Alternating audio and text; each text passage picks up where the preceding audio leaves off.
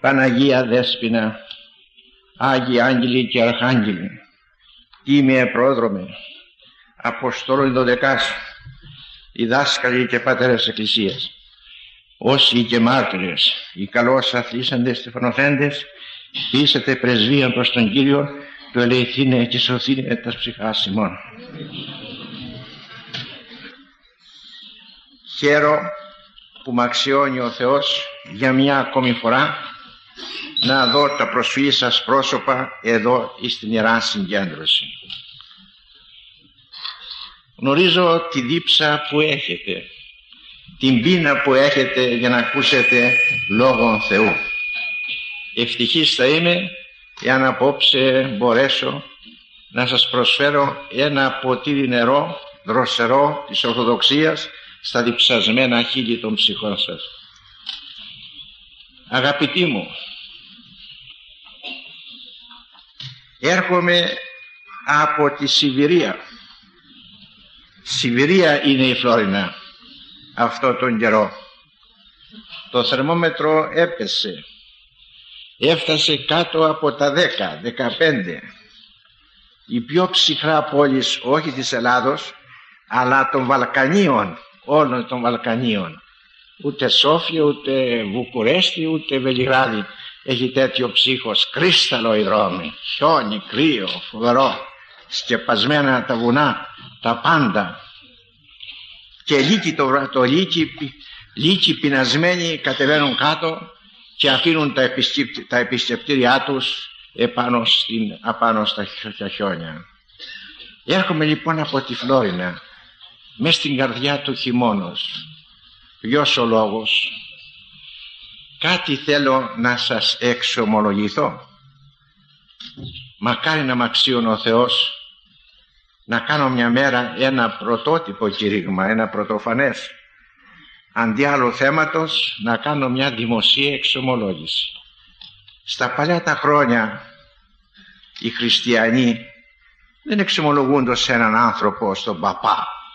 Ξομολογούνται μέσα σε όλη την κοινότητα τη χριστιανικής, σε όλους τους χριστιανούς και ο ιερεύς, ο προϊστάμενος έδωνε συγχώρεση ή έβαλε κανόνα. Τώρα περιορίσαμε την εξομολόγηση σε ένα πρόσωπο και ούτε σε ένα πρόσωπο δεν λέμε την αλήθεια. Μακάρι λοιπόν να με εξίωνε ο Θεός να φτάσουμε σε μια τέτοια τελειότητα ώστε να εξομολογούμε δημοσία τα αμαρτήματά μας όπως τα έκαναν μεγάλοι διδάσκαλοι και πατέρες εκκλησίας αλλά απόψε θα κάνω μια μικρά εξομολόγηση σε ένα σημείο. Κάτι θα σας πω. Αλλά δεν θέλω να στενοχωρηθείτε. Δεν θέλω να λυπηθείτε. Αλλά θέλω να χαρείτε. Να χαρείτε όπως χαίρω και εγώ. Να χαρείτε τη χαρά εκείνη που είπε ο Χριστός όταν είπε τους μακαρισμούς. Διότι όταν είπε τους μακαρισμούς και άρχισε τη λέξη από μια λέξη που συγκινεί τον κόσμο ολόκληρο. Έχουν όλα τα λόγια του Χριστού μεγάλη σπουδαιότητα. Ευτυχία ζητεί ο κόσμος. Και τώρα τις πρωτοχρονιές ευτυχισμένα στον νέο χρόνος ακούστηκε μοιράκης εις όλη την πατρίδα μας. Μακάρι λέει ευτυχής λέει ο Χριστός ποιοι είναι αυτοί που έχουν τα λεπτά. Ευτυχείς είναι αυτοί που διασκεδάζουν και γλεντούν ευτυχείς είναι αυτοί που ριάζουν στα διάφορα νυχτερινά κέντρα. Ευτυχείς είναι οι διπλωμάτες οι απατεώνες και λοποδίτες της ανθρωπότητος. Ευτυχείς είναι οι γεμόνες και οι βασιλείς. Ευτυχείς είναι οι ισχυροί της ημέρας. Όχι. Άλλο λεξιλόγιο έχει ο Χριστός μας. Άλλο είναι το λεξιλόγιο του κόσμου και άλλο είναι το λεξιλόγιο του Χριστού. Ανέτρεψε την πυραμίδα των πραγμάτων ο Χριστός και είπε μακάρι, μακάρι, μακάρι, μακάρι φτάνω εκεί που με ενδιαφέρει μακάρι δε διωγμένοι ένε και νεμού και του Ευαγγελίου χαίρετε και αγαλιάστε ότι ο μισθός ημών πολλής εν της ουρανής. Χαρά λοιπόν πρέπει να δοκιμάσω και εγώ και δοκιμάζω σαν από τις ολίες χαρές που έχω δοκιμάσει στο μάτιο αυτών των κόσμων 50 χρόνια τώρα, μισό αιώνα που εργάζομαι εδώ στον ταλέπρον τόπο. Ποια είναι η χαρά που πρέπει κι εσείς να χαρείτε διότι μας αξιώνει ο Θεός να γίνουμε μέτοχοι μια αυτής χαράς. Η χαρά είναι ότι κατέβηκα από τη Φλόρινα διότι με κάλεσε επιγόντως ο εισαγγελεύς των Αθηνών. Και με κάλεσε ο εισαγγελεύς των Αθηνών να παρουσιαστώ ενώπιον του κριτηρίου των κατόπιν βέβαια εντολής της κυβερνήσεως διότι διέπραξα ένα φοβερό έγκλημα εδώ στην Ελλάδα. Και το φοβερό έγκλημα που διέπραξα εδώ στην Ελλάδα είναι ότι δεν υπογράφω διαζύγια Καζανόβα.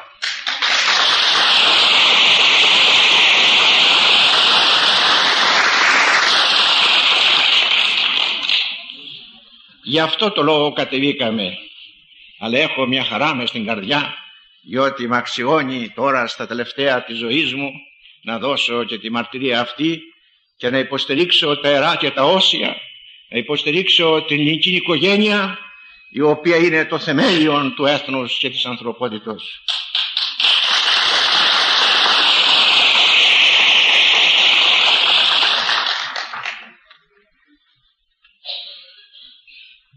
Έφυγα από τη Φλόρινα και είμαι τώρα στην Αθήνα από το ένα άκρο στο άλλο εδώ στο κέντρο του ελληνισμού.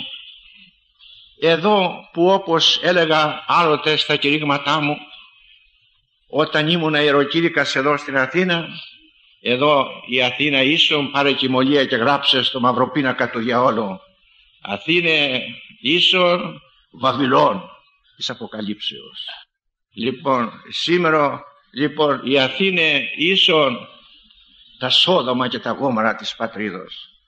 Παντού σε όλη την Ελλάδα γίνονται αμαρτήματα. Και δεν υπάρχει χωριό, δεν υπάρχει πόλης, δεν υπάρχει περιοχή, δεν υπάρχει βουνό, δεν υπάρχει νησί, δεν υπάρχει ακρογιάλι που δεν τα μαγαρίσαμε εμείς όλοι οι Έλληνες. Και η γη μας είναι αμαρτωλή και σύεται ο τόπος μας. Και μόνο τούτο σας λέγω ότι μόλις κατέβηκα στην Αθήνα άκουσα ότι στο δικαστήριο γεννόταν μια δίκη μια δίκη φρικαλέα κάποιος Έλληνας, Ορθόδοξος, Χριστιανός άνθρωπος, ούτε άνθρωπος. Άνοιξε το στόμα του το βρωμερό και είπε μια βλαστήμια, τέτοια βλαστήμια που μέχρι σήμερα δεν ακούστηκε ποτέ πάνω στο φλούδι αυτό της γης. Μια βλαστήμια που πέρασαν τις βλαστήμιες εκείνες που είπε ο Καζατζάκης το τέχνο της Κρήτης. Μια βλαστήμια που πρέπει κανείς να φράξει τα αυτιά του για να μην ακούσει τη βλαστήμια που έριψαν, είπαν εναντίον του Κυρίου Μόνος Χριστού. Βέβαια, καμιά ζημιά δεν παθαίνει ο Χριστός από τις βλαστήμιες των ανθρώπων. Όπως κάποιος παράφρονας το είδα στη Σαλονίκη αυτό το πράγμα που έχασε στο μυαλό του δραπέτης φρονοκομείου ανέβηκε μια μέρα στη Σαλονίκη σε ένα τηλεγραφόξυλο και απάνω το τηλεγραφόξυλο άρχισε να φτύνει για να σβήσει τον ήλιο. Νόμιζε ο καημένος ότι με το φτύσιμό του θα χτίσει τον ήλιο και μαζεύτηκε κόσμος και ήρθε η πρεσβεστική και τον κατέβασε πάνω από το ξύλο με στεγνό το λαρίκι του. Όλα τα πτίσματα δεν σβήνουν τον ήλιο. Είναι μακριά, πολύ μακριά, απρόσιτος, εις βάθος και έκταση ο Χριστός. Δεν έχει καμιά ζημιά, αλλά είναι όμως δείκτης, οι βλαστήμες αυτές δείκτης του πολιτισμού μας. Είναι δείκτης ότι ζούμε στο βδέλιγμα της ερημόσεως, στους εσχάτους χρόνους, κατά τον οποίο το Πνεύμα το Άγιο προφητεύει ότι οι άνθρωποι θα είναι βλάστημοι. Βλάστημοι και δικάστοι. Πόσο; Μια μικρά ποινή.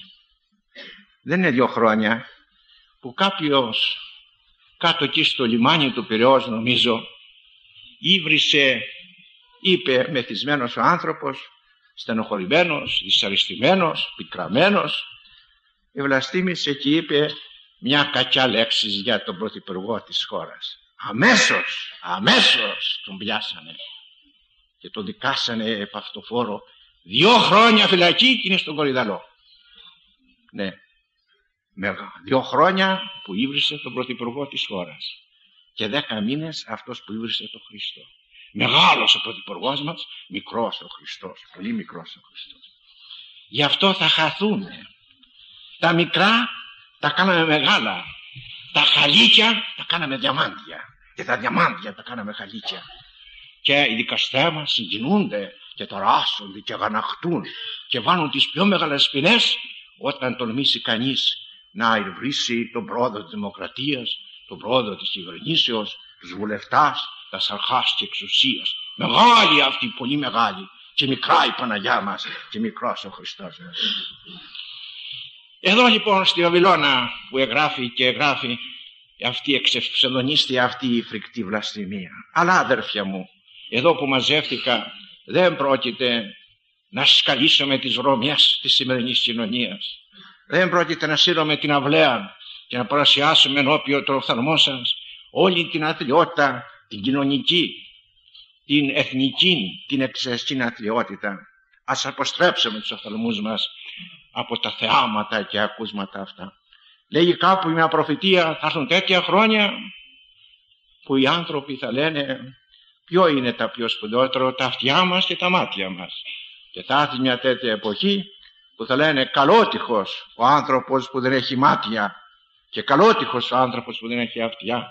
Καλότυχος που δεν έχει μάτια για να μην βλέπει τα έσχη της κοινωνίας και, και καλότυχος που δεν θα έχει αυτιά για να μην ακούει τις φρικτές βλαστημίες. Σε τέτοια εποχή αποστρέψαμε τους οφθαλμούς μας από τι αυτά θεάματα και τι αυτά ακούσματα του αιώνος μας και ας ταξιδέψουμε νοερός σε αρχαίους χρόνους σε χρόνους που η πίστη σύγχυζε και θαυματούργοι οι άνθρωποι παρουσιάζανε τον ανώτερο εαυτό τους ας ταξιδέψουμε στα σπηγάς του χριστιανισμού τους πρώτους αιώνας, τους χρυσούς αιώνας ας ταξιδέψουμε στην εποχή των Αποστόλων και ιδίων του Αποστόλου Παύλου Απόστολος Παύλος δύο άνθρωποι δείχνουν την αθλειότητα του ανθρώπου αφενός και το ύψος του ανθρώπου αφενός. Ο Ιούδας δείχνει μέχρι ποιου σημείου διαφθοράς ή μπορεί να φτάσει ο άνθρωπος. Βλέπε χρημάτων εραστά. Λέγει ψάλι τη Μεγάλη Εβδομάδα. Αλλά αν πάλι θες να δεις σε ποιο ύψος φτάνει ο άνθρωπος, άγγελος και αρχάγγελος και νικά τους αγγέλους και αρχαγγέλους είναι ο Απόστολος Παύλος. Λοιπόν, γι' αυτό λέγει ο Απόστολος Παύλος ότι η μητέ μου γίνεστε καθώς καγώ Χριστού. Εάν δεν υπάρχει ένας ο οποίος εμιμήθη περισσότερο από όλους τον Απόστολο Παύλο και έγινε Παύλος και αυτός στην εποχή του φωστήρ φωτεινός, ήλιος φωτεινός είναι ένας και αυτός ονομάζεται ο Ιωάννης ο Χρυσόστομος το οποίο την ερά μνήμη εορτάσαμε αγαπητοί αδελφοί σήμερα 27 Ιανουαρίου η ανακομιδή των Λιψάνων του Ιωάννου. Επάνω στον Ιωάννη το Χρυσόστομο και πάλι να το ομιλήσω εδώ στην αίθουσα νομίζω αλλά και πάλι θα ομιλήσω από άλλη σκοπιάς εξετάζω το θέμα του Ιωάννου του, του, Ιωάννου του Χρυσόστομου. Το να πούμε, να διηγηθούμε το βίο του, ένα βίο που προκαλεί τα δάκρυα και τη συγκίνηση. Θα πρέπει να διαθέσουμε όχι ένα κηρύγμα, δέκα και είκοσι κηρύγματα, βιβλίο ολόκληρο, για να διηγηθούμε από την ημέρα που γεννήθηκε στην Αντιόχεια μέχρι την ημέρα που πράδει το πνεύμα πέρα εις τα κόμματα της Αρμενίας. Αλλά εδώ θα συντάμω το λόγο και θα εξετάσουμε μία πτυχή από την όλη ζωή του Ιερού Χρυσοστόμου του οποίου τη μνήμη εορτάζουμε σήμερα και η πτυχή αυτή, το σημείο αυτό που πρέπει να προσέξουμε είναι ένα. Ποιοι ήσαν οι εχθροί του Ιερού Χρυσοστόμου;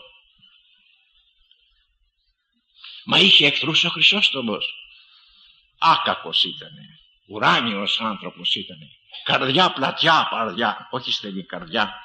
Όπως ο Απόλλος, ο Απόστολος Παύλος που είπε η καρδία ημών πεπλάτηνται είναι τευρία η καρδία, χωρούσε τον κόσμο όλο. Δεν είχε μίσος. και δεν πατούσε ο Άννης ο Χρυσόστομος. Προσωπικό εχθρό δεν είχε ο ιερός, ο ιερός Χρυσόστομος. Δεν έμοιαζε σαν γίνα τα χαϊδεμένα παιδιά που όλο τα χαδεύουν οι γονείς των.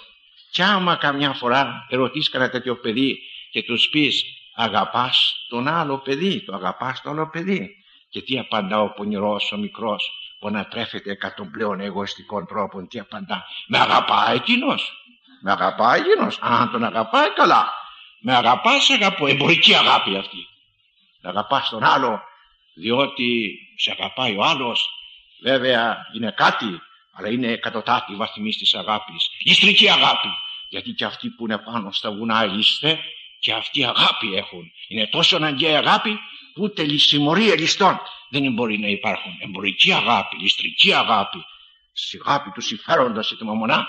Αλλά εγώ δεν θέλω να έχετε αγάπη εμπορική, ούτε ληστρική αγάπη, αλλά να έχετε αγάπη χριστιανική. Την αγάπη είναι εκείνη που είπε ο Χριστός όταν επάνω στο Σταυρό είπε «Πάτερ άφες αυτής που γρέδες τυπιούς». Μιμητές του, μιμητής του Θεανθρώπου, ο Ιάννης ο Χρυσόστομος αγαπούσε τους πάντες. Τότε πώς απέκτησε εχθρούς, ποια ήταν η αιτία που απέκτησε φανατικούς εχθρούς ο Ιωάννης ο Χρυσόστομος, ποια ήταν η αιτία, το Ευαγγέλιο. Το Ευαγγέλιο, ναι, η γλώσσα του, η γλώσσα η πυρήνη, η γλώσσα γεμάτο φωτιά και αστραπές και βροντές, η γλώσσα που δεν εγνώριζε συμβασμούς κανένα με το ψεύδος και την απάτη, η γλώσσα που λέει τα σίκα σίκα και τη σκάφη σκάφη, η γλώσσα που ονόμαζε το φως φως. Και το σκότο σκότος την ημέρα ημέρα και τη νύχτα νύχτα, η γλώσσα αυτή η πυρήνη, αυτή ήταν η αιτία του μίσους, του θανατηφόρου μίσους, γιατί η αλήθεια όπως είπε ένας δικός μας ποιητής κάποιος ποιητής ομιλούν για την αλήθεια είπε μια μεγάλη αλήθεια είπε ότι η αλήθεια είναι τι είναι μαλόχτρα είναι μαλόχτρα μαλόχτρα. Όπου ακούεται αλήθεια αλήθεια μεγάλη όχι για μικρά και ασήμαντα πράγματα αλλά αλήθεια τα μεγάλα και θεμελιώδη εκεί που ακούεται η αλήθεια σύονται τα άστρα του ουρανού. Εκεί μέσα γίνεται διχασμός και άλλοι μεν είναι υπέρ της αληθείας άλλοι δεν είναι κατά της αληθείας και αρχίζει η μάχη. Ή μάλλον ήρθε η μάχη. Άρχισε η μάχη από το πρετόριο του Πιλάτου όταν ο Χριστός είπε ότι εις τούτο γεγέννη ή να μαρτυρήσω ότι αληθεία μάρτης της αληθείας πιστός υπήρξε ο Άγιος Ιωάννης ο πρόδρομος. Εχθρούς είχε. Προσωπικό δεν είχε εχθρό. Τι έλεγε στα κηρυγματά του; Αγαπώ κάθε άνθρωπο. Και τον Εβραίον αγαπώ και τον ερετικό να αγαπώ και τον λάτρη να αγαπώ. Αγαπώ και όλους αγαπώ. Αγαπώ όλους αγαπώ. Και αυτόν ακόμα που θα με σταυρώσει θα τον αγαπήσω και αυτό ποιο μισό; Και ανέφερε παράδειγμα όπως ο γιατρός αγαπά τον άρρωστο αλλά μισεί την ασθένεια και προσπαθεί να εξοντώσει την ασθένεια και όσο πιο πολύ αγαπάει τον άρρωστο, τόσο περισσότερο προσπαθεί να εξοντώσει την ασθένεια για να καλύψει τας, τας αιτίας της ασθενείας. Έτσι και εγώ αγαπώ τον άνθρωπο. Εκείνο που μισώ, μερικοί παραξενεύουν, παρερμηνεύουν τρομερά το Ευαγγέλιο. Λέγει εκεί το Ευαγγέλιο, όσαν μισήσει πατέρα και μητέρα, ουκέστη μου άξιος. Όσαν μισήσει, όσαν μισήσει. Τι εννοεί εκείνο, να, να μισήσουμε τη μάνα μας που μας εγέννησε, τον πατέρα που μας εγέννησε, τα αδέρφια μας όχι σε αγαπήσω τι να μισήσεις λέει ο Χρυσόστομος τον τρόπο με τον οποίο ζουν τη ζωή την οποία ζουν τα ιδέες τις οποίες έχουν αγαπώ τον άνθρωπο αλλά μισώ την πλάνη μου μισώ την αίρεση μισώ την αθεία και απιστία μισώ τον τρόπο των αντικριστιανικών τρόπων της ζωής του. Έτσι τοποθετούσε τα πράγματα. Και έλεγε άλλοτε, άλλοτε πάλι ο Ιάννης ο Χρυσόστομος ότι εγώ ένα έρθρο έχω. Παρακαλέστε τον Θεό να τον νικήσω. Ένα εχθρό έχω. Δεν έχω κανένα άλλο εχθρό στον κόσμο. Τον πολεμώ, τον χτυπώ. Μένω νηστικός. Κυλιούμαι στο χώμα. Αναστενάζω, κλαίω φωνάζω, καλώ τα άστρα του ουρανού ένα εχθρό έχω, βοηθήσατε με να τον νικήσω τον εαυτό μου έχω ο μεγαλύτερος εχθρός του εαυτού είναι ο εαυτός μας είναι ο διαφθαρμένος εαυτός μας είναι τα πάθη μας, η κακία μας Αυτά είναι ο διεφθαρμένος. Φοβού το εαυτόν σου όπως λέγει και ένα ρητό στη Σοφία του Σολομόντος. Αυτός και έγραψε και είπε μια σπουδαία ομιλία ο Χρυσόστομος. Τον εαυτόν μη βλάπτοντα ουδε ο κόσμος όλος δίνεται βλάψε αυτόν. Άμα, άμα εσύ δεν κάνεις κακό στον εαυτό σου Εάν δεν κάνεις κακό στον εαυτό σου και κάνεις κακό στον εαυτό σου, στον εαυτό σου κάθε φορά που αμαρτάνεις, εάν δεν κάνεις κακό στον εαυτό σου και είσαι αθώος και αμόλυντος και αγνός και παρθένος και δίκαιος και αληθινός, όλοι οι δαίμονες, όλοι οι δαίμονες της κολάσεως να μαζευτούν, κανένα κακό δεν σου κάνουν. Απολύτως κανένα. Και απόδειξης ο Ιώβ. Όλοι οι δαίμονες μαζευτήκανε. Αλλά δεν μπόρεσε να τον κάνουν. Ίστραψε πολύ περισσότερο. Εαυτόν μια δικούντα, ούτε ο κόσμος όλος, ούτε αυτός ο διάβολος δίνεται να βλάψει. Δεν είχε λοιπόν προσωπικούς εχθρούς ο ίδιος. Δεν εμωσούσε η αλήθεια που εκείρεται ήταν εκείνη που προκάλεσε αφενός με κύματα ενθουσιασμού, αφετέρου δε κύματα μίσους και, απα... και μίσους και αποστροφής. Ποιοι ήταν οι εχθροί του, οι εχθροί του ένας, δύο, τρεις, τέσσερις και τελειώνουμε. Πρώτα οι εχθροί του ήταν ποιοι, οι πλούσιοι, οι πλούσιοι. Όλοι οι πλούσιοι, όχι, όχι. Υπάρχουν πλούσιοι που είναι γεμάτο αγάπη και ελεμοσύνη και καλοσύνη. Υπάρχουν πλούσιοι που δεν δίνουν τα ψυχία τους, αλλά δίνουν τον πλούτο τους ολόκληρο και γίνονται και, και εφαρμόζουν την εντολή του Κυρίου μας πωλήσετε τα υπάρχοντάς σας και δώσ' φτωχής. Υπάρχουν στην Παλιά Διαθήκη ο Χάριο Αβραάμ. Είδατε στην παραβολή του Λαζάρου ότι στον παράδεισο μέσα ποιος υπεδέχτηκε το Λάζαρο τον πτωχό ο πλούσιος στους κόλπους του Αβραάμ. Παρακαλούμε και εμείς να βρεθούμε. Φιλάνθρωπος, ελεήμων δίκαιος ήταν ο Αβραάμ. Πλούσιος ήταν ο Ιώβ που είχε χιλιάδες κτίνη και ζώα. Πλούσιοι υπήρξαν υπήρξε και μια γυναίκα στην εποχή του Ιερού Χριστοστόμου η Ολυμπιάς που διέθεσε τεραστία περοσία δια τους φτωχούς, δια τα σύρας και ορφανά. Πλούσιοι, αλλά πώς είναι αυτοί οι πλούσιοι που είναι όντως ελεήμονες και φιλάνθρωποι ένας στους χίλιους. Ένας στους χίλιους. Οι άλλοι οι 999 είναι πλέον τα άγρια θερία όπως τα ρόμαζε ο Ιερός Χριστός και έδωσε εικόνας, αμοιβήτους εικόνας των διού των πλουσίων ο χρωστήρ του, του Ιωάννου του Χρυσόστομου παρουσίασε ας πούμε ένα, δύο, τρεις τύπους τέτοιους. Ο ένας ήταν λέει έπεσε στα μέρη κάπου εκεί στα μέρη έπεσε. Σταματώ μου ήρθε να κλάψω. Αυτό που θα πω θα συμβεί και στην Ελλάδα. Δεν είμαι προφήτης. Οι παλαιότεροι θυμούμεθα. Έρχεται πείνα πείνα που θα περάσει την πείνα του 42-43 έπεσε λοιπόν σε μια επαρχία της Μικράς Ασίας ανομβρία σταλαγματιά νερό σταλαγματιά νερό. Ένα μήνα, δυο μήνες, τρεις μήνες τέσσερις μήνες, πέντε μήνες, ένας μήνας τι μεγάλο πράγμα αυτές τα λαγματιές. Κάθε σταλαγματιά που πέφτει από τον ουρανό στο φεγγάρι ούτε μια σταλαγματιά στον Άρη ούτε μια σταλαγματιά κάθε σταλαγματιά τι λέει ο Θεός αγάπη εστί. Κάθε, στα, κάθε ακτίνα που έρχεται πέρα από το άπειρο μας λέει ο Θεός αγάπη εστί. Ούτε μια σταλαγματιά στη γη. Κάθε σταλαγματιά είναι μια λίρα παραπάνω από τη λίρα πέφτει πάνω στη γη και γονιοποιεί τα δέντρα γονιοποιεί τα δέντρα τα πάντα.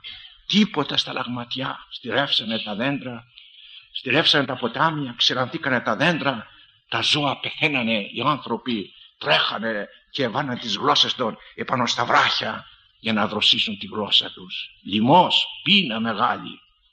Ξαφνικά παράκλησης κάνανε στο Θεό. Η ταινία κάνανε παρακαλέσαν τον Θεό. Και ξαφνικά ο ουρανός εγέμισε από σύννεφα. Γέμισε από σύννεφα. Μαύρησε άστραψε και βροντούσε. Και μετά άρχισε να τρέχει να βρέχει. Ω, γονάτισαν όλοι και βγήκαν έξω και πλήνω και βρεχόντανε. Και δοξάσανε τον Θεό που άνοιξαν τα ουράνια και έβρεχε η γη. Ένας λυπημένος ένας λυπημένος. Ποιος; Ο Μαυρογορήτης είχε αγοράσει ένας πλούσιος μια αποθήκη μια αποθήκη. Είχε γεμίσει μια αποθήκη από σιτάρι και περίμενε να, γίνει, να, να, να παραταθεί η ανομβρία για να πωλήσει πιο ακριβά το σιτάρι του μια φούχτα σιτάρι, μια φούχτα χρυσά αυτός λυπήθηκε αυτός στενοχωρέθηκε κλπ όπως θα, θυμούν, θα θυμούμαστε οι, παλαι, οι παλαιότεροι εδώ οι αμαυρογρείτε των, των Αθηνών φωνάζανε σταμάτα Ρόμελ ένα σύνθημα που ρίπτανε τότε στην εποχή εκείνη η τρομερή και απέση Τι ούτως λοιπόν είναι ο πλούτος; Ζει από τη στοιχεία των άλλων. Επίσης ένα, μια άλλη εικόνα ενός πλουσίου. Όλα τα χρήματα για να αυξηθούν πρέπει να κοπιάσεις. Για να κάνεις τη μια δραχμή δυο, τις δέκα εκατό πρέπει να κοπιάσεις. Ενιδρώ το προσώπο σου φαγή των άρτων σου. Υπάρχει μια εργασία που δεν κοπιάζει καθόλου. Καθόλου τίποτε απολύτως. Ποιοι ήταν αυτοί, ήταν οι άνθρωποι, οι τοκογλύφε. Τράπεζες δεν υπήρχαν τότε, ούτε άλλα μέσα εξυπηρετήσεως των ανθρώπων και οι άνθρωποι οι πτωχοί τρέχανε στους πλουσίους, στους τοκογλύφους και εδανίζουν το χρήματα. Και, το, και ο τόκος πόσο; 10, 20, 30 πόσο νομίζετε ο τόκος; 100% κεραυνούς βγάνει η γλώσσα του Ιερού Χρυσοστόμου καυτηριάζοντας τους τοκογλύφας της αρχαίας εκείνης εποχής.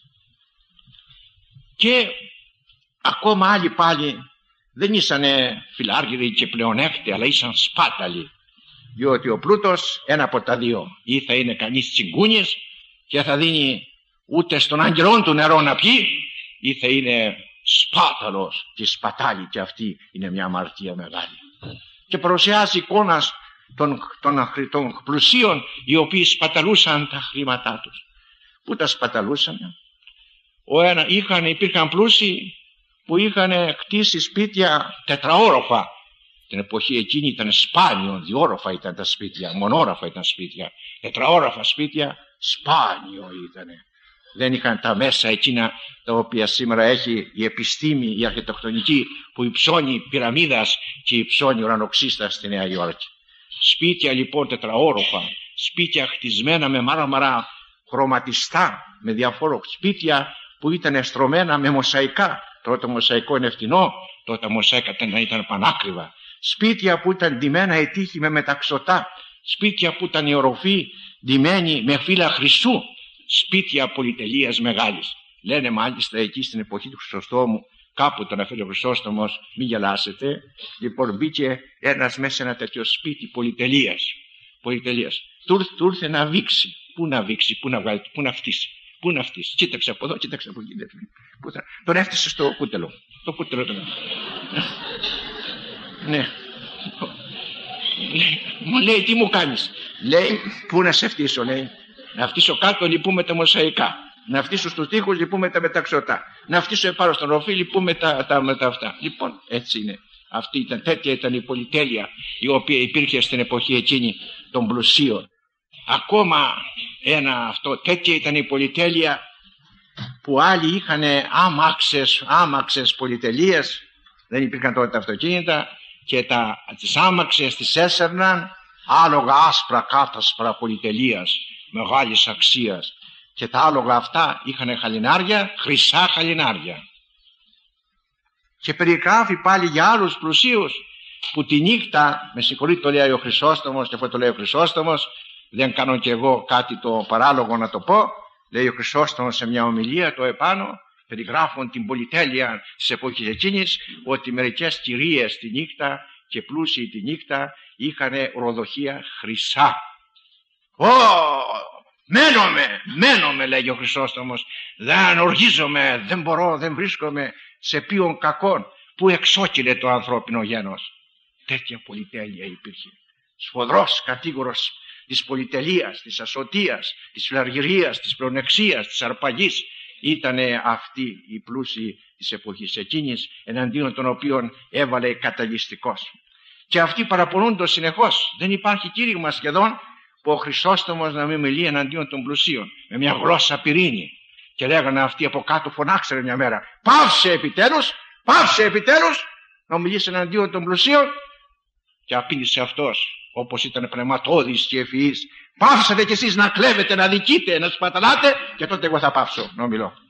Εφόσον εσείς εξακολουθείτε να αρπάζετε, να δικείτε, να βιοπραγείτε, να, γίνετε, να γίνεστε η αράχνε της κοινωνίας και η βδέλα της κοινωνίας, εγώ δεν θα πάψω ποτέ να μιλώ εναντίον των κακών των πλουσίων.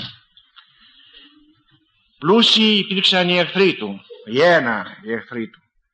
Οι πλούσιοι εχθροί του ακόμα κοντά σε αυτούς που ήταν οι άρχοντες της πολιτείας. Όλοι οι άρχοντες, όχι όλοι οι άρχοντες, αλικία. Υπήρξαν και υπάρχουν και θα υπάρχουν άρχοντες αγαθοί, άρχοντες όπως ήταν ο Ιωσήφ ο αντιβασιλεύς της Αιγύπτου που εφρόντισε για το λαό ώστε κανείς να μην είναι πενασμένος σε μια, περιοδή, σε μια, σε μια εποχή λοιμού, φοβερού λοιμού. Άρχον ήταν ο, ο Ιωσήφ του Ναβί, άρχον σπουδαίος ο Μωυσής και οι κριτέ της Παλαιάς Διαθήκης, αγωνιστέ του λαού, οι Μακαβαίοι και όλοι οι λαοί. Και αν θέλετε και εδώ στην Ελλάδα να παρουσιάσουμε ένα άρχοντα Άγιο. Ο λαός τον έλεγε Άγιο. Άγιο τον έλεγε. Ήταν Άγιος. Δραχμή δεν έπαιρνε από το δημόσιο ταμείο. Δραχμή. Και όλη την περιουσία που είχε στην Κέρκυρα την πούλησε και την έδωσε στο Ταμείο της Ελλάδος. Και εμείς οι Έλληνες, αχάριστοι και αγνώμονες, τον δολοφονήσαμε Κυριακή ημέρα όταν πήγαινε στην εκκλησία. Ήταν ο Αγίστος, ο Μπαρμπαγιάννης, ο Καπολίστηνας. Αγαθός κυβερνήτης. Από τότε η Ελλάδα δεν είδε χριστιανό κυβερνήτη. Στο ύψος και στο μέγεθος ευφυής, ευφυής κυβερνήτας, διπλωμάτας, ικανούς, αλλά ευσέβεια και αγιώτα, οποίος είχε εκείνος ο Ιωάννης δεν είχαμε άλλον. Είναι λοιπόν άρχοντες ευλαβείς, υπάρχουν. Αλλά αυτοί είναι ένας με τους χιλίους, όπως είπα για τους πλουσίους. Οι άλλοι, όπως περιγράφει ο Ιερός Χρυσόστομος, υπήρξαν θηρία, κακά θηρία της κοινωνίας. Περιγράφει μερικούς από δάφτους.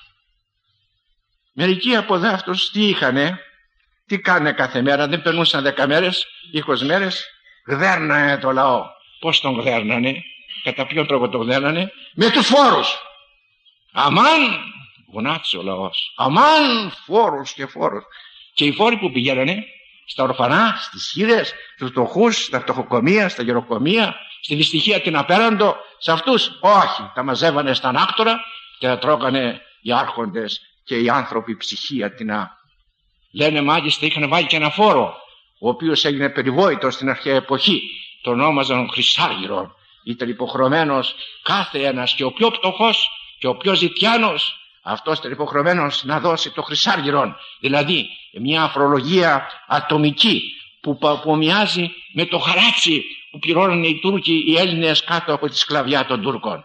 Χαράτσι όλοι τους. Ήταν η μέρα πένθους, η ημέρα κατά την οποία η τα δημόσια όργανα του κράτους εισέπρατον από όλα οικογένειας των Χρυσάργυρων αυτή την φορά φορολογία και μάλιστα κάτω σε μια πόλη στην Αντιόχεια που ήταν η τετάρτη πόλη του ελληνισμού, του αρχαίου κόσμου πόλη στην οποία ιεροκήρυκας ήταν ο Ιερός Χρυσόστομος εκεί λοιπόν εκεί έβαλαν ένα τέτοιο φόρο που σηκωθήκανε πλέον δεν μπορέσαν να ανθέξουν και σηκωθήκανε και πήραν τα ρόπαλα και βάλανε φωτιές και κάψανε το δικητήριο κάψανε τα σαρχάστια εξουσίας όλας πέρα, πήραν νερόπαλα και σπάσανε όλα τα αγάλματα του βασιλέως.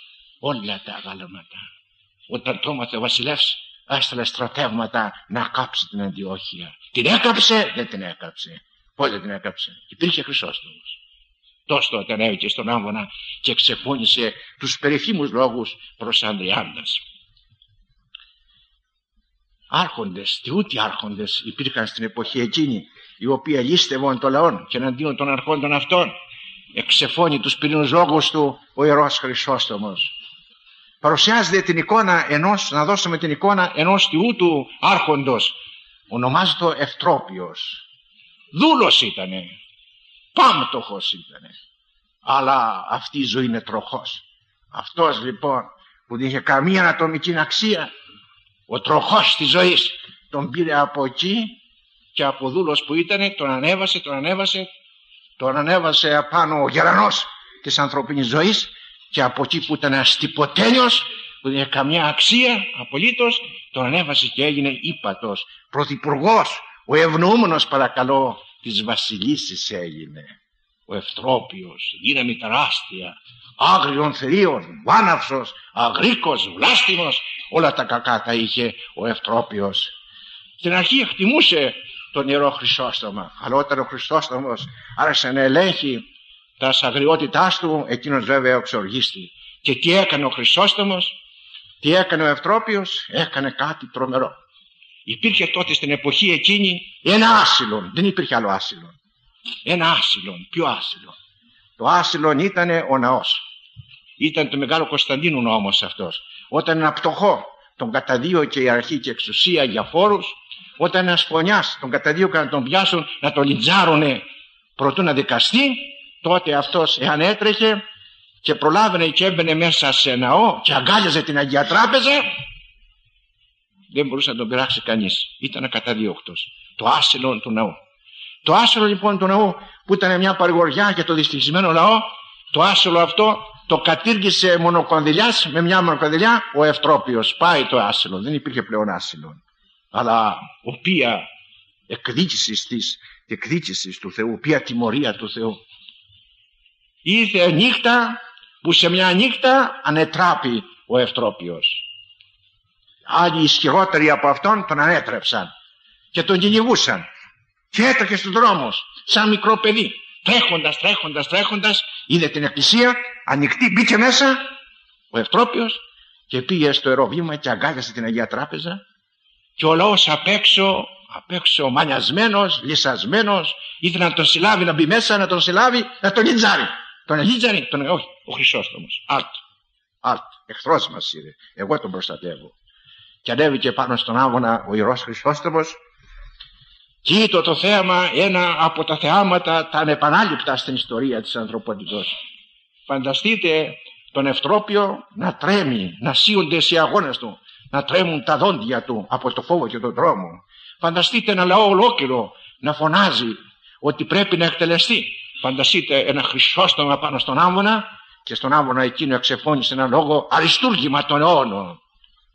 Πάντοτε λέει είναι εύκαιρο να λέμε ματαιώτης ματαιωτήτων τα πάντα ματαιώτης αλλά τώρα προπαντός είναι καιρός να πούμε βλέποντας αυτό το ράκος της ανθρωπίνης δυστυχίας ματαιώτης ματαιωτήτων τα πάντα ματαιώτης πού της υπατίας η λαμπρά περιβολή πού η χωρή και θαλίε πού τα άσματα πού φύσηξε άνεμος και όπως όταν άνεμος φυσήξει Τώρα το φθινόπωρο θα φυσήξει, σύονται τα φύλλα και πέφτουν όλα τα φύλλα και το δέντρο γίνεται γυμνόν. Έτσι άνεμος εφύσηξε και ήδη αυτός είναι γυμνός. Γυμνός. Τα πάντα κόνης, τα πάντα σκιά, τα πάντα πομφόλιγες. Σε ένα ύψος μεγαλοπρεπέστατο και θείο. Στα παλιά τα χρόνια, προ 50 χρόνια, εγώ εγνώρισα στο χωριό μου, στο μικρό χωριό μου, ένα τσαγκάρη που πήρε στο σχολείο και ήξερε το την ομιλία αυτή Ευτρόπιον την ήξερε απ' έξω. Τη μαθαίνανε στα σκολιά τη μαθαίνανε. Πάνε τώρα πήραν ένα σφουγγάρι και τα σβήσανε όλα αυτά τα αριστουργήματα διότι ο λόγος αυτός του Χριστόμου είναι όντως αριστούργημα ανώτερος από το λόγο του Δημοσθένους και ανώτερος από το λόγο του Κικέρονος και των αρχαίων φιλοσόφων. Περιφρόνησης προς τους πατέρας είναι γνώρισμα της εποχής αυτής. Εχθροί του Ιερού Χρυσοστόμου ήταν οι πλούσιοι των οποίων τη σπατάλη και φλαργερία και πλεονεξία και αρπαγή ήλεγξε εχθροί σαριάρχοντες εχθροί τώρα. Τώρα θα γίνουμε κακός στο ίμιση του ακροτηρίου μας. Μαντεύετε θα πούμε τώρα. Μαντεύετε αλλά πρέπει να το πούμε. Εχθροί του, του Ιερού Χρυσοστόμου ήταν οι γυναίκες. Οι γυναίκες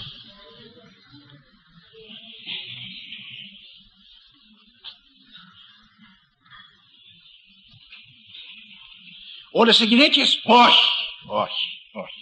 Υπήρχαν και γυναίκες, εξέχουσε γυναίκες, με, υπερα, με υπερόχους αρετάς, γυναίκες οι οποίες ως άγγελοι και αρχάγγελοι εδώ στη γη περιπατούν, γυναίκες αρχαίες όπως η Σάρα, όπως η Ρεβέκα, όπως η Σεπφόρα, όπως η Άννα, όπως τόσες και τόσες άλλες γυναίκες της Παλαιάς Διαθήκης, Υπήρχαν γυναίκες μυροφόρες που σταθήκαν μέχρι τέλος κοντά στο Χριστό.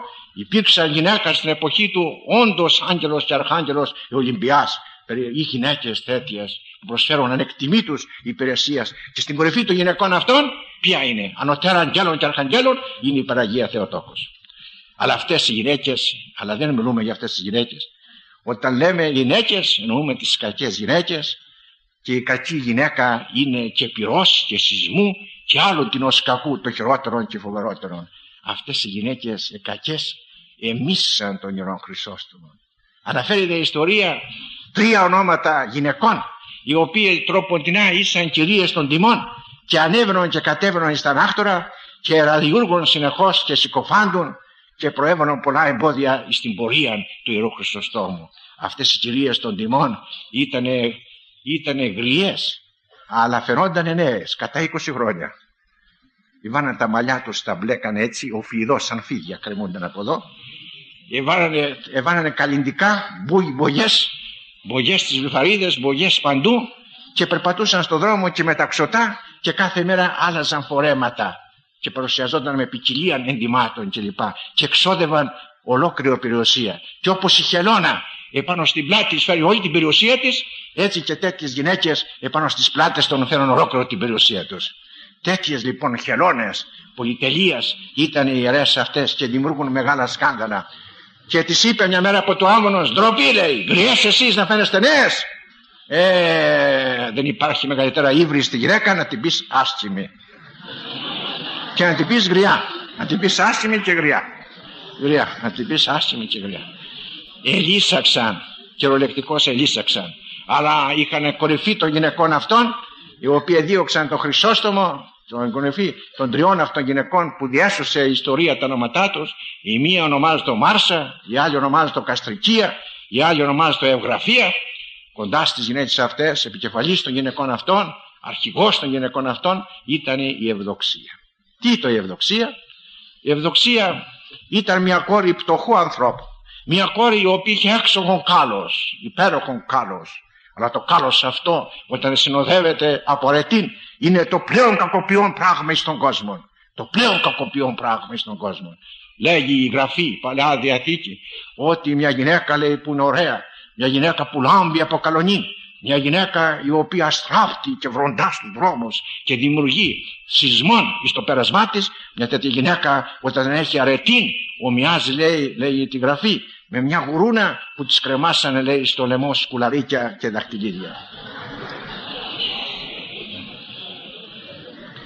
Όση αξία έχει ένας χείρος λέγει ως περενή, ως περενή ενώτιον ούτω πως γεννή κακόφρονη που δεν έχει αυτή λοιπόν ήταν η ευδοξία ανήθεη τα είπα το αξιώματος και εμίσησε τον Χρυσόστομο Θανασίμος γιατί τον εμίσησε τον εμίσησε δια δύο λόγους πρώτο λόγο ήταν ότι μια μέρα αυτή η ευδοξία ο Σάλι, ο Σάλι Εζάβελ κατόρθωσε να πάρει το χτήμα μιας πτωχιάς χείρας γυναικός και η χείρα αυτή κατέφυγε στον Χρυσόστομο και ο Χρυσόστομος ανέλαβε την υπεράσπιση της γυναικός και ζήτησε επιγόντως από την βασίλισσα να επιστρέψει το ξένο κτήμα. Ένας λόγος αυτός. Ο δεύτερος λόγος, οι κόλακες που ήταν κοντά στη βασίλισσα της έλεγαν ότι δεν υπάρχει πιο ωραία γυναίκα στον κόσμο. Και η βασίλισσα μάζεψε τόνους, τόνους από ασήμι, το έλειωσαν τους στόμου και κάνε έναν άγαλμα, πελώριο αγάλμα. Και το στήσαν απ' έξω από την Αγία Σοφιά. Και την ημέρα της Κυριακής έκανε τα εγγένεια. Και μαζευτήκαν εκεί πέρα όλοι οι χορευτέ, όλα τα ελληνά καθάρματα και μόλις πήγε να αρχίσει η Θεία Λειτουργία ο Ιερός Χρυσόστομος έκαναν τέτοιο θόρυβο ώστε το αδύνατο να συνεχίσει η Θεία Λειτουργία. Φανταστείτε το Ιερό Χρυσόστομο. Ανέβηκε στον άγωνα και ξεφώνησε λόγον και είπε πάλι ροδιάς μένετε πάλι ζητή κεφαλήν Ιωάννου του προδρόμου. Ξεμάνει όταν ήξερε τον έλεγχο αυτόν που έκανα επί στα εγγένεια του αγάλματος, του αργυρού αγράμματος της βασιλής εκείνης. Αλλά αδελφοί μου ούτε οι γυναίκες θα μπορέσαν να κλονίσουν το Χρυσόστομο από τον θρόνο ούτε οι άρχοντες οι κακοί και οι διαφθαρμένοι ούτε οι προύσιοι εάν δεν προσεκτήθετο και ένας τέταρτος εχθρός ο χειρότερος εχθρός της Εκκλησίας. Γη, γη, επιτρέψτε με οι επίσκοποι. Επίσκοποι. Ρασοφόρ. Αυτοί τον φάγανε τον Χρυσόστομο. Αν δεν υπήρχαν αυτοί δεν λέμε όλοι αλίμονο δεν λέμε όλοι ότι υπήρχαν και υπάρχουν και στην εποχή του Χρυσοστόμου υπήρχαν επίσκοποι 40 τον αριθμό οι οποίοι σταθήκανε παλικαρίσα ήρωες κοντά στο γίγαντα της αρετής του καθήκοντος και το συνόδευσαν μέχρι της εξορίας αλλά πλην το 40 υπήρχαν επίσκοποι φθονεροί υπήρχαν επίσκοποι πλεονέχτε και άρπαγες. Υπήρχαν, υπήρχαν, υπήρχαν οι οποίοι αυτοί όλοι τους ραδιοργήσανε και έστεισαν δικαστήριο να δικάσουν τον γίγαντα, να δικάσουν τον Παρθένον, να δικάσουν τον Αφιλάργυρον, να δικάσουν τον Διαπρίσιον Κύρικα, να τα δικάσουν εκείνον που έλεγε ο κόσμος. Προτιμότερο να σβήσει ο ήλιος παρά να σβήσει η γλώσσα του Ιερού Χρυσοστόμου. Εκείνο δίκασαν. Βρω, δίκασαν. Το δίκασαν. Μια φορά τον εξόρισαν. Εξόρισαν. Πήγαν στρατιώτε, τον πήρανε, αλλά το ίδιο βράδυ, με έχασε κύριε και θαυμαστά τα έργα σου. Το ίδιο βράδυ που έλειψε από την, από, τα, από, από την Κωνσταντινούπολη ο Ιερός Χρυσόστομος το ίδιο βράδυ σεισμός! Εσύσαν τα πάντα. Τρόμος και φόβος. Την άλλη μέρα τον εκάλεσαν και επέστρεψε ο Χρυσόστομος εν θριάμβο εν μέσω του ποιμνίου του.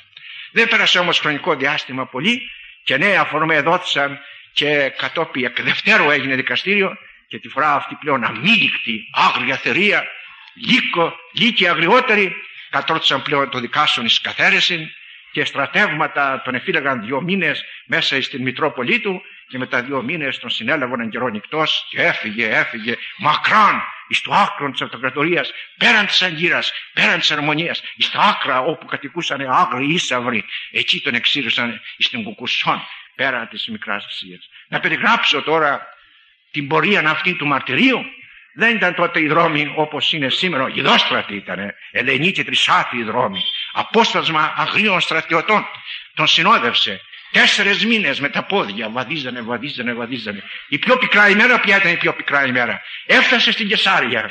Στην Κεσάρια έφτασε. Μια νύχτα, μια βροχερή νύχτα, έφτασε στην Κεσάρια βραγμένος, διωγμένος, κουρασμένος, γεροντάκι πλέον, αραχνώδες στο ύφασμα, λοιπόν ζήτησε κονάκι. Εκεί στην Κεσάρια δεν ήταν πλέον ο Βασίλειος. Δεν ήταν ο Βασίλειος. Επί της Μωσέως καθέδρας εκάθισαν γραμματεί και Φαρισαίοι. Και επί της καθέδρας Βασιλείου του Μεγάλου εκάθισε ένας άλλος, τον οποίο η ιστορία τον απεδοκίμασε ως αγριότερο θηρίων ο Φαρέτριος. Πήγε να τον χαιρετήσει. Όχι. Τι έκανε; Σήκωσε τους καλογιάρους και πήγαν τη νύχτα και του έδωσαν τελεσίγραφο. Εντός μιας ώρας θα εγκαταλείψεις θα εγκαταλείψεις την Κεσάρια. Λοιπόν, αμάν, λοιπόν, αμάν εφώναξαν. Σήμερα γίνονται χειρότερα. Δώστε με προσθεσμία να πληθώ, να καθαριστώ, να λουστώ, να αναπαυθώ. Τίποτα τώρα σκοτώνεσαι. Και μέσα στη νύχτα που έβρεχε αυτά, επήρε, έφυγε από την Κεσάρια διοκόμενος όχι από πλουσίος, διοκόμενος όχι από άρχοντας, διοκόμενος όχι από γυναίκας τύπου Μάρσας, Καστρικίας και Ευγραφίας και Ευδοξίας, αλλά διοκόμενος από αρχαιρής τύπου Φαρετρίου. Τότε είπε το περίφημον εκείνον, το περίφημον εκείνον ο Χρυσόστομος ότι ουδέν έδικα ως επισκόπους πλην ενιών. Τίποτα άλλο δεν φοβήθηκα στον κόσμο παρά επισκόπους πλην ολίγων. Αυτά είπε ο Χρυσόστομος. Τώρα να περιγράψουμε τα τελευταία σημεία της ζωής του. Ευάδιζε, ευάδιζε έφτασε στον Κουκουσό. Από εκεί πέρα από την Κουκουσό νέα διαταγή νέα διαταγή. Περισσότερο μα πιο μακριά 100-200 χιλιόμετρα μακρύτερα τον εξόρισαν διαταγή. Να τον πάνε στα κόμματα πέρα στα άκρα της αυτοκρατορίας στα σύνορα εκεί πλέον που ετέλε, ετελείωνε η, Ρωμα, η Αυζαντινή Αυτοκρατορία. Σηκώθηκε, τον πήρανε. Ήταν αδύνατο πλέον να βαδίσει. Ήταν μήνας Αύγουστος. Έκαιε ο ήλιος ο ήλιος στις πέτρες, ασθενής, πυρετός, εξασθενημένος, ζήτη ανάπαυση, τίποτα. Τον χτυπούσαν, τον έδραναν, προχωρούσαν, προχωρούσαν, έπεσε χάμω, έπεσε χάμω. Τον σηκώσανε, τον μεταφέρανε πλέον στο ναό του Αγίου Βασιλίσκου και εκεί η μεγάλη ψυχή του Ιερού παραδείξει το πνεύμα. Αλλά είδε όνειρον, όνειρον, υπάρχουν όνειρα, όχι κύβηλαν όνειρα σαν τα όνειρα που κυκλοφορούν στον κόσμο, αλλά υπάρχουν πραγματικά όνειρα. Είδε όνειρο τη νύχτα ο Βασιλίσκος, ο Μάρτυρης, του λέγει αδελφέ, αδελφέ Ιωάννη, αύριο μαζί θα είμαστε. Εσηκώθη όρθιος, έδωσε ό,τι είχε κοντά του, τα τελευταία λείψανα της περιουσίας του, τα μοίρασε, έκανε τρεις φορές το σταυρό του και απέθανε, παρέδωσε το πνεύμα στον ουράνιο πατέρα με τις λέξεις «Δόξα το Θεό πάντων έρικα».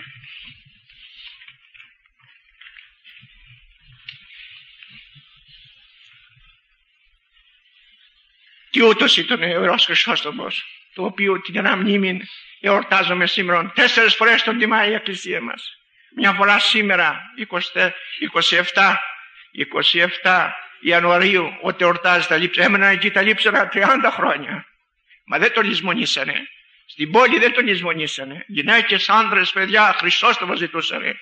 Πέθανε η ευδοξία. Κακόν τέλος είχε. Απέθανε αποδιστό. Πέθανε στο δοκετό. Μέσα σε κραυγάς και φωνάς, τρομεράς φωνάς. Απέθανε από τη δοκία. Απέθανε και ο Αρκάδιος ο ανάξιος σύζυγός του, το Ανδρίκυλο της Βασιλίση. Απέθανε οι πλούσιοι και μη στάνε και κυρία των τιμών. Απέθανε. Και ύστερα από 30 χρόνια πήγε πρεσβεία στα κόμματα και πήρε τα λείψανα και τα μετέφεραν τα λείψανα.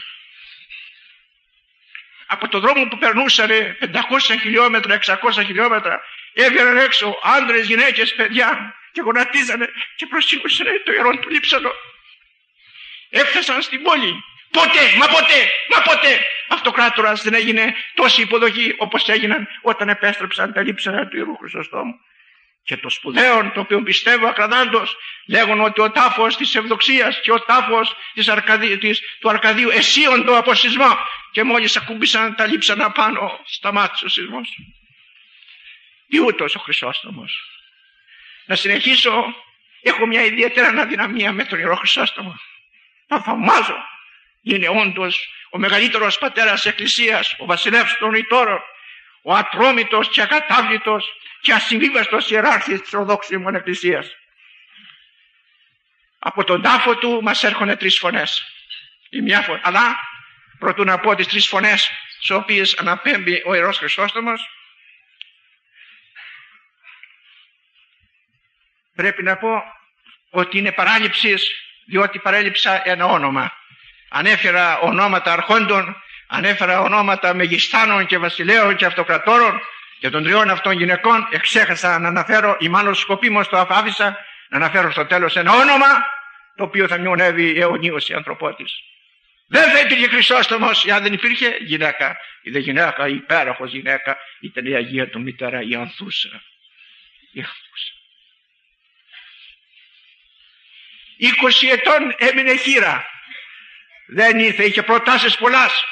Ουδέμια να δέχθη. Στο παιδί μου και μόνο στο παιδί μου και αφοσιώθη το παιδί της και διέθεσε κολοσσία πόσα και το εσπούδασε πρεπόντος και το έστελε στην Αντιόχεια και Κωνσταντινούπολη και άλλες πόλεις και μορφώθη κατά κόσμο και εγκυκλοπαιδικός και ανεδείχθη ο σπουδαιότερος ρήτορος της Αντιοχίας και μετά αυτά ο σπουδαιότερος ρήτορος της Εκκλησίας μας. Εάν δεν υπήρχε ανθούσα δεν θα υπήρχε Χρυσόστομος. Αιωνία έστω η μνήμη της ανθούσης της μητρός του Αγίου Χριστού. Τρεις φορές ακούγονται εδώ. Η μία φωνή απευθύνεται προς τα γυναίκας. Γυναίκες, μητέρες, μητέρες, μητέρες. Ανατρέψατε τα τέκνα σας εμπεδία και ενουθεσία Κυρίου. Και δώσατε μας πάλι Χρυσοστόμους και Βασιλείους και Γρηγορείους. Δεν μπορούν να σήμερα να υπάρχουν Χρυσόστομοι και Βασιλεία και Γρηγοροί, διότι δεν υπάρχει χριστιανική οικογένεια. Μόνο τα παιδιά αυτά που είχαν το προνόμιο να δουν τη μητέρα τους γονατίζει και να προσεύχεται. Μόνο, με, με, μόνο προπαιδιά που τα είδαν που τα πήραν στην αγκαλιά τους οι μητέρες και μαζί με το γάλα τα υπότισα με το γάλα της Ορθοξίας μόνο παιδιά που ήταν παράδειγμα στο σπίτι μόνο τέτοια παιδιά μπορούν μια μέρα να γίνουν Γρηγόροι και Χριστόστομο και Βασίλη. Γυναίκες και μητέρες δώστε μας πάλι στην Εκκλησία Γρηγορίους και Βασιλείους και Χριστόστομους δεν είναι το, το, το, το, το, το μνημοσυνό σας αιώνιο η άλλη φωνή ποια είναι η άλλη φωνή; Η άλλη φωνή είναι προς τους πλουσίους του αιώνος μας φωνή βροντόδης και ισχυρά είναι η φωνή του Χρυσόστομου. Τι έλεγε ο Χρυσόστομος; Το συνεβούλιο ο Χρυσόστομος τι ήθελε ο Χρυσόστομος; Ποια ήταν η μεγάλη φιλοσοφία του Χρυσόστομου; Ας την ακούσουμε αδελφοί μου διότι είναι σεισμική η αλήθεια την οποία υποστήριξε ο Υιός Χρυσόστομος και έκανε το άνομα του Θεού. Και νομίζει κανείς ότι είναι ένας κοινωνιολόγος αλλά όχι είναι χριστιανός. Τι έλεγε ο Χρυσόστομος; Δώστε, δώστε διώστε τα ροδοχεία της νυχτός. Διαλύσετε τα χρυσά φύλλα της στέγης σας. Πετάξετε με τα ξωτά σας. Πουλήστε τα χωράφια σας τις περιουσίες σας. Δώστε, δώστε. Να γίνετε φτωχοί. Από πλούσιοι να γίνετε φτωχοί. Εκούσιοι πτωχοί εκούσιοι πτωχοί αυτός είναι ο χριστιανισμός. Είναι παραπάνω από τον κομμουνισμό. Γιατί; Ο κομμουνισμός τι είναι; Μια διαφορά έχουμε. Εκούσιος ο Χριστός συνιστά τον εκούσιο, την εκούσιο να γίνεις πτωχός, να είσαι πλούσιος και να γίνεις εκούσιος. Να, σε, να έχεις περιουσία τεράστια και να τη δώσεις μόνος σου ελεύθερος, εκούσιος λέγεται φτωχία, να γίνεις εκου... την μακάρι πτωχή. Ε, μακαρίζει ο Χριστός την εκούσιο. Δεν το κάνεις, oh, oh, τότε τι θα γίνει; Θα γίνεις ακούσιος φτωχός, χωρίς τη θέλησή σου. Θα έρθει το κράτος, ο ευτρόπιος, κάποιος ευτρόπιος, το όνομά του και με φόρο θα την πάρει την περιουσία. Θα έχει κάποιος οικονομικός έφορο και θα σου πάρει την περιουσία. Ή μάλλον θα γίνει κάποια ανατροπή. Κάποια ανατροπή θα γίνει στον κόσμο. Γίνεται πάντοτε, όπως στη Ρωσία. Ήταν μέσα πλούσιοι πρώτης επαναστάσεως των κομμουνιστών, ήταν πλούσιοι μέσα στη Μόσχα. Πλούτη, θησαυρούς, μεγάλος, κτήματα απέραντα, μεγάλες ιδιοκτησίες κλπ. Δεν δίνανε τίποτε απολύτως, σκρίκια από άνθρωποι και μόνο συνήθεια είχαν να πηγαίνουν στον Άγιο Τάφο, μόνο εκεί πέρα και στο Άγιο Όρος. Πήγαν. Πέραν τούτου όμως δεν ήσαν ελεήμονες και φιλάνθρωποι και είναι αυτοί οι πέτοι του μεγάλου κοινωνικού προβλήματος που δημιουργήθηκε. Και τότε όταν έγινε, έγινε η Επανάσταση, μέσα σε μια νύχτα έγιναν πτωχοί, ακούσει η πτωχή. Έγιναν πτωχοί, ακούσει η πτωχή. Έγιναν πτωχοί, ακούσει. Προμητεύω. Εντός σε μια νύχτα και οι πλούσιοι των Αθηνών και οι πλούσιοι της Ελλάδος θα γίνουν ακούσει οι πτωχοί. Εμάς τίποτα δεν μας ακούν. Κύρια κηρύγματα δεν πρόκειται να δώσει μια δραχμή. Και εδώ στο σημείο που ήρθα θα επιτρέψετε να φέρω ένα ανέκδοτο. Διότι έχω μια ζωή 50 ετών και η ζωή αυτή μου έχει δώσει πολλά. Θα σας πω κάτι για τον Καπταμάρκο. Μην παραξενευτείτε. Τον γνωρίζω τον Καπταμάρκο. Λοιπόν, ήμουν, ήμουν, ήμουν στην Κοζάνη. Φτώχεια. Πω, πω, πω. Στους δρόμους πέθαναν οι άνθρωποι. Μέσα στην Κοζάνη μαζευτήκαν όλα τα χωριά. Η Κοζάνη που είχε 10.000 είναι 50.000. Κόσμος, φτώχεια, δυστυχία. Φωνάξαμε. Πυρήνα κηρύγματα. Δώστε μας, δώστε μας, δώστε μας, δώστε μας, δώστε, δώστε μας. Τι μας δώσανε, ελάχιστα. Πού τα κρύβανε; Πα, πα, πα, Είχαν ανοίξει υπόνομο στην πλατεία της πόλεως βάθος 10 μέτρων και εκεί είχαν κρύψει τα αγγεία χρυσάφι γεμάτο. Όταν κατεβήκε ο Καρταμάρκος από κάτω το ξέραν αυτό. Και πήγαν στην πλατεία και σκάβανε και σκάβανε και βρήκανε όλα αυτά τα πολύτιμα πράγματα κρυμμένα την ημέρα εκείνες που ο φτωχός λαός πέθανε στους δρόμους από το κρύο και τη δυστυχία. Ανάλγητη, ανάλγητη. Και κάτι άλλο. Έκανανε έρανο. Έκανα εγώ έρανο, εμάζεψα ελάχιστα ποσά. Και μόνο αυτό κινδύνευσα τη ζωή μου. Διότι με εξασφαλώνησα την κατηγορία ότι είμαι Όχι, κομμουνιστής δεν είμαι. Χριστιανός είμαι. Και ο χριστιανό είναι παραπάνω από τον κάθε άλλο. Είναι πάνω στα άστρα του ουρανού. Λοιπόν, μετά έρχονται αυτοί, αυτοί είχαν έναν κατάλογο μεγάλο έναν κατάλογο μεγάλο. Είχαν 300 πλουσίου της πόλεως και τους καλέσανε εκεί πέρα. Το κήρυγμα των κομμουνιστών. Ούτε παραδείγματα, ούτε εικόνες, ούτε γραφή, ούτε τίποτα. 300. Το ονόματά σας κύριε. Το ονόματά σας. Ο ένας θα δώσει 300 λίρες. Ο άλλος θα δώσει 200 λίρες. Ο άλλος θα δώσει 100 λίρες. Ο άλλος 50 λίρες. Ο άλλος 50... Ποσών περίπου 15-20 λιρών παρακαλώ. Μμμ, πήγα να κάνω. Μα, δεν έχουμε εδώ κήρυγμα εδώ, είπανε κήρυγμα εδώ κάτι δεν είναι. Εμείς είμαστε εδώ. Εμείς εξουσιάζουμε. Όποιος με άκρη το βράδυ δεν τα φέρει, θα τον κοντίνω με μια πιδαρή.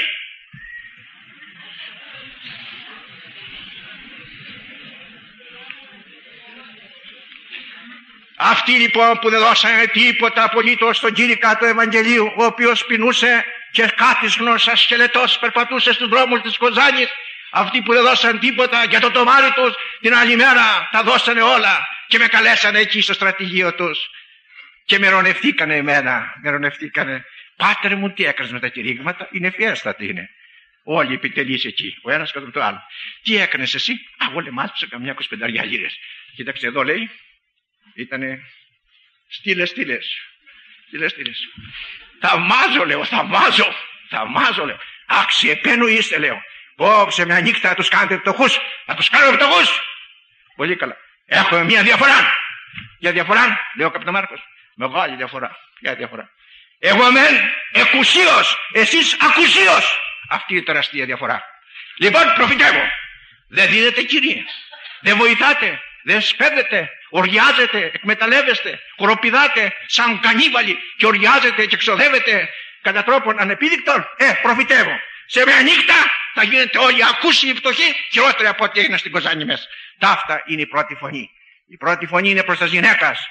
Γυναίκες, δώσματες, χρυσός τόμος και βασιλείου. Η δεύτερη φωνή είναι προς τους πλουσίους. Προς τους πλουσίους να γίνουν εκούσιοι φτωχοί και όχι ακούσιοι φτωχοί. Και η τρίτη φωνή είναι προς την αφεντιά μας, προς τους επισκόπους. Προς τους επισκόπους. Σχερά φωνή.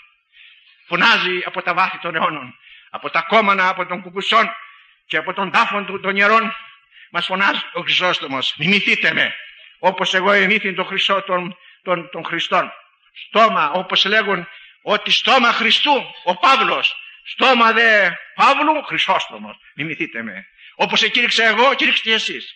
Όπως, όπως έζησα εγώ, ζήστε και εσείς. Όπως αντιστάθηκα εγώ εναντίον βασιλέων και αυτοκρατών αντισταθείτε και εσείς. Και πρέπει να αντισταθούμε αδελφοί μου. Μιμούμε τα παραδείγματα των πατέρων της Εκκλησίας μας. Αντιστάθηκε εκείνος εναντίον της Μάρσας, της Κατρικίας και Ευγραφίας και εναντίον του αυτού σήμερα χειρότερη είναι η κατάσταση. Όχι τρεις, όχι τρεις γυναίκες εκείνες της Κωνσταντινούπολεως. Μετρήστε με τα δάχτυλα αγαπητοί μου χριστιανοί. Να αντιληφθείτε ότι ο πόλεμος μας είναι σκυρός. Είναι σκυρός. Μέσα στις 500 μισό εκατομμύριο είναι οι παντρεμένες γυναίκες που έχουν παιδιά στην Ελλάδα. Μισό εκατομμύριο είναι από το μερομέρος. Και από το μερομέρος ποιες είναι; Είναι 2-3 χιλιάδες γυναίκες. Γυναίκες που εχώρισαν τους άντρες των. Γυναίκες ανδροχωρίστριες. Γυναίκες οι οποίοι τώρα από ώρα σε ώρα θα στεφανωθούν μέσα στους ναούς των Αθηνών. Των Αθηνών. Θα νικήσουν. Θα νικήσουν το μεγάλο ερώτημα.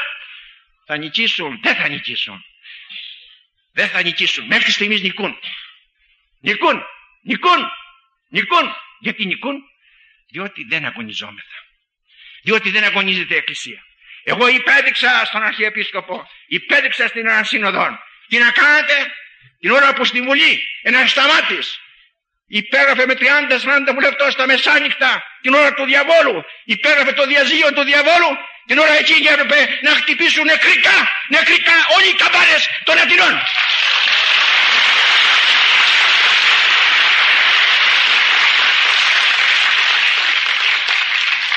να χτυπούν νεκρικά οι καμπάνες και να βγουν οι παπάδες με τα ξαφτέρικα και με το σταυρό και με τα κατήλια και να μαζευτεί ο λαός ολόκληρος και κατεβούμε στα πεζοδρόμια, στην πλατεία και να πεθάνουμε εκεί αγωνιζόμενοι υπερπάτριοι και επιπίστεως.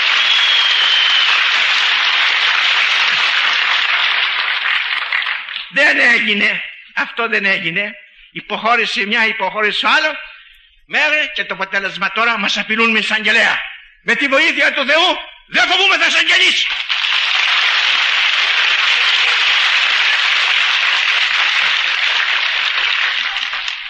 Θα αισθανθώ μες στην πίκρα της ζωής. 50 χρόνια έχω που δουλεύω με το ράσο στην πατρίδα μου. Με περιπέτειες μεγάλες και με διωγμούς και κινδύνους. Αλλά αυτή τη φορά αισθάνομαι χαρά θα είναι η μεγαλύτερα ημέρα της χαράς όταν μου οδηγούν στα φυλακάς. Διότι θα αγωνίσεις διότι θα, θα είναι χαρά και αγαλίαση λοιπόν Ταύτα είχα να σας πω αγαπητοί μου χριστιανοί απόψε. Εξαφρομής του μνημοσύνου της εορτής του Αγίου Ιωάννου του Χρυσοστόμου. Σας καλώ σε επιφυλακή. Να είστε επιφυλακή. Όπλα μας δεν είναι τα τάγκς. Όπλα μας δεν είναι η τορπίλε. Όπλα μας δεν είναι τα ξύφη. Όπλα μας δεν είναι η βία. Όπλα μας είναι ο Σταυρός. Όπλα μας είναι η αλήθεια. Όπλα μας είναι ο Λόγος του Θεού. Όπλα μας είναι η αγνώτηση των προθεσεών μας. Θα αγωνιστούμε και θα νικήσουμε.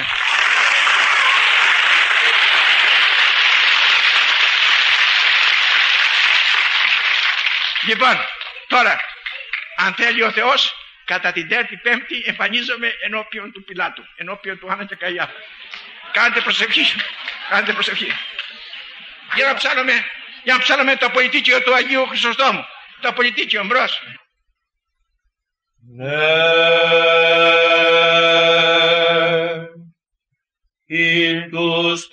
Ειν του στόματος σου καθά περπυρσός, εκλάμψας την οικουμένη, εφώτισεν αφιλαργυρία στο κόσμο, θησαυρούς ένα πέρθετο, το ύψος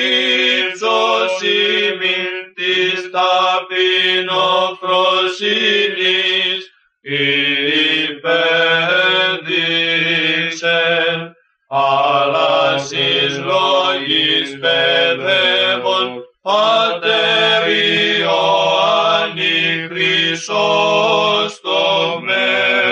πρέσβευε το Λόγο Χριστό το Θεό, σωθήνετας ψυχάς